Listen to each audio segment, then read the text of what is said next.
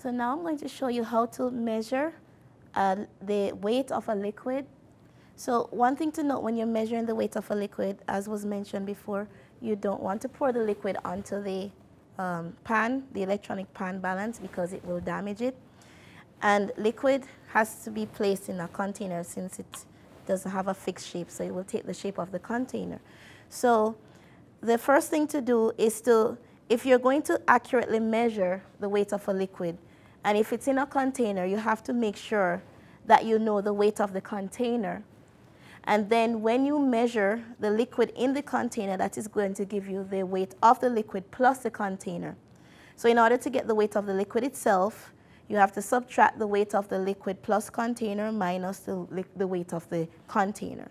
So I'm going to walk you through this.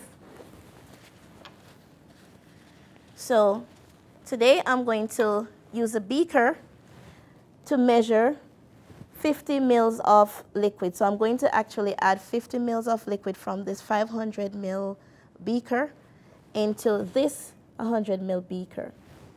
So as you will find out from your experiment, the beaker is not the most accurate container used to measure liquids. But I'm just going to show you how you can actually measure a liquid using the beaker.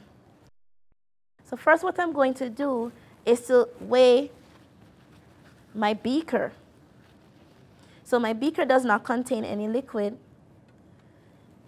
Before I do this, I want to make sure that my I zero the pan balance by taring it, press it, pressing the tare button. And then I'm going to put my beaker on to the pan. And it's telling me that it's 50.66 grams. So I'm going to take it off, take the beaker off, the 50 ml beaker off, and now I'm going to place 50 mils of liquid into the 100 ml beaker.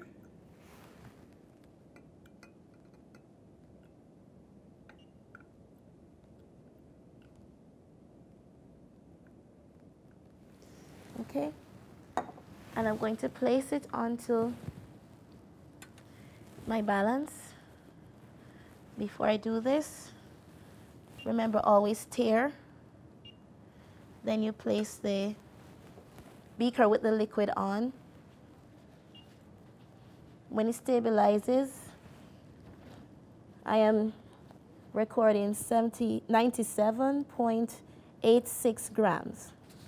So I can determine the mass of the liquid by subtracting the volume, the, the, sorry, the mass of the beaker plus the liquid, and in this case it is 97.86 grams. I'm going to subtract the mass of the beaker itself, which is 50.66 grams, from the mass of the beaker and the water, and that will give me the the mass of the liquid.